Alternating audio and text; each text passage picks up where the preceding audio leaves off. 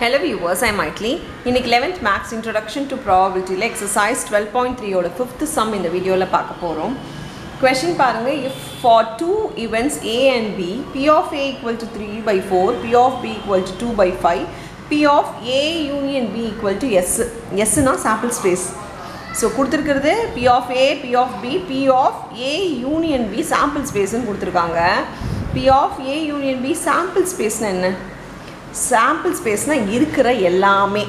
இருக்கிற எல்லாமே பார்த்தீங்கன்னா எப்போவுமே தெரிஞ்சுக்கோங்க ஒரு ப்ராபிலிட்டியில் இருக்கிற எல்லாமே ஆட் பண்ணோன்னா நம்மளுக்கு ஒன் வரும். ஸோ ஒரு ப்ராபிலிட்டினா ஆடிங் எல்லாத்தையும் அப்படின்னா அது ஒன்று ஸோ சாம்பிள் ஸ்பேஸ்னால் அவங்க மீன் பண்ணுறது ஈக்குவல் டு ஒன்னுன்றது தான்.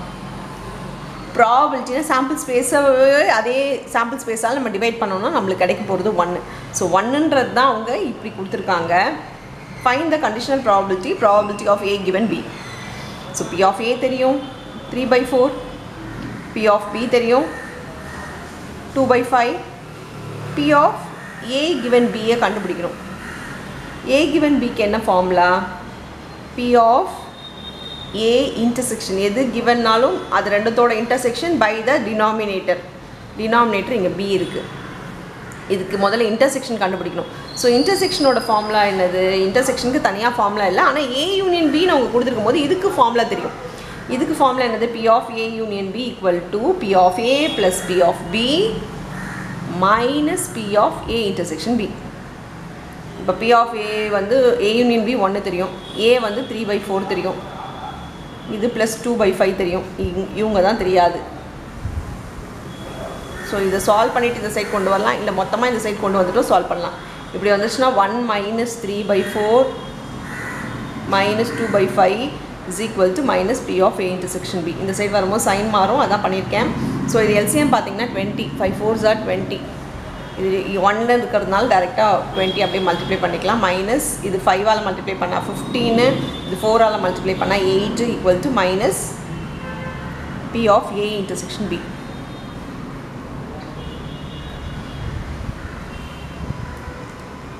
இங்கே பார்த்தீங்கன்னா டுவெண்ட்டி மைனஸ் ஃபிஃப்டீன் வந்து ஃபைவ் ஃபைவ் மைனஸ் எயிட் வந்து minus three so minus three by twenty equal to minus P of A intersection B so minus minus நம்ம கேன்சல் பண்ணால் P of A intersection B நம்மளுக்கு என்ன வருதுன்னா three by twenty வருது. So P of A intersection B equal to பார்த்தீங்கன்னா three by twenty so இந்த three by twenty நம்ம இங்கே சப்ஸ்டியூட் பண்ணிக்க முடியும். இப்போ பாருங்கள் P of A given B வந்து பார்த்திங்கன்னா three by twenty by P of பிக்கு டூ பை ஃபைவ்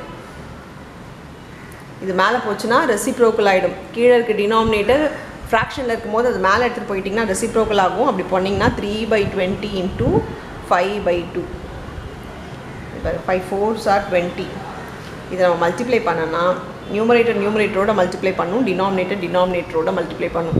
அப்படி பண்ணால் த்ரீ பை எயிட் வருது. So P of A given B equal to three by eight தான் final answer for the sum so அவ்வளோதான் இந்த some thank you